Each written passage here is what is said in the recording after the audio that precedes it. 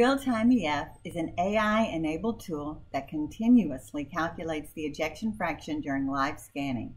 Just acquire an apical four-chamber view, tap the icon, and the EF is displayed in seconds.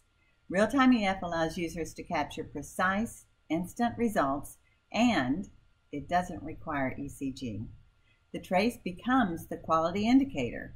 When the trace is green, the results are highly likely to match those of an expert. When it's yellow, you should take the results with some caution. When it's red, no results are shown. You'll notice that both the EF and the heart rate calculations are displayed.